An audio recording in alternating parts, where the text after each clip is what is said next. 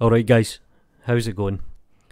This is going to be a very quick tutorial and I'm going to show you how to do a boolean cut and essentially slice an object. Then I'm going to show you a quick method how to separate the object into separate objects. So I've downloaded this Ten 24 sample scan and the quality is superb so I've imported it into Blender. So what I'll do is I'll select the cube and I'll just scale it down so I can make something like a cheese grater. Something to slice the object up with. So something like that. I'll move it to the left just before where the fingers start. I'll then come to the modifier and add in an array. Now I'll take relative offset off and I'll make it constant and because it's on the x-axis I'll make it 10 meters. And I'll put the count right up. So something like this. I'll hit apply.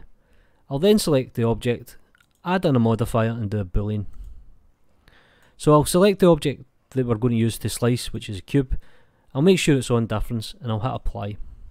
Now I don't need the cube anymore, but I'll just quickly hide it from the scene. So we get something like this, a nice kind of sliced object.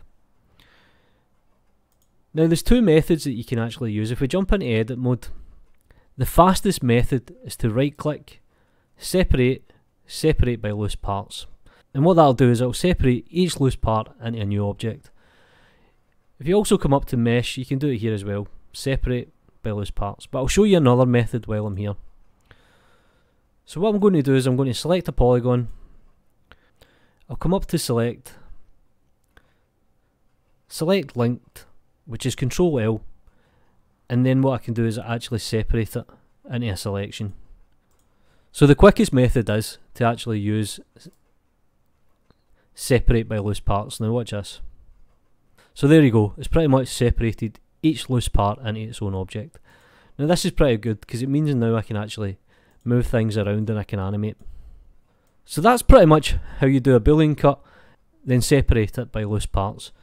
Do me a favour guys, like and subscribe, you know what to do. Peace.